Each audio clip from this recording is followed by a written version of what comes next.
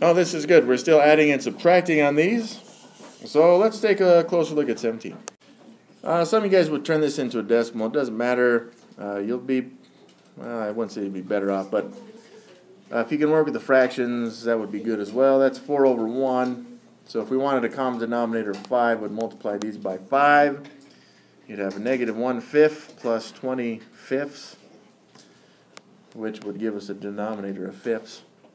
Then you'd have negative 1 plus 20, which is, uh, well, not negative, but uh, 19 fifths, which as a decimal would be 3.8.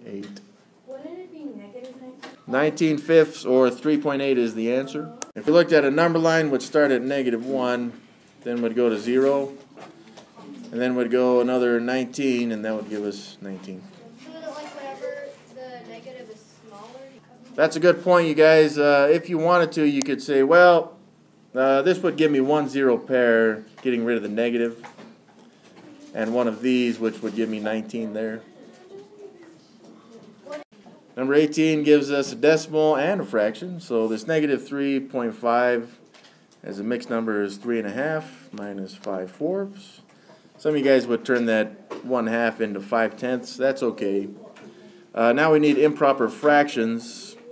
So 3 times 2 plus the 1 It's a negative 7 halves minus 5 fourths. And we need common denominators, so we'll multiply these by 2. Negative 14 fourths minus 5 fourths equals negative 14 minus 5 fourths. Negative 14 minus 5 is negative 19 fourths.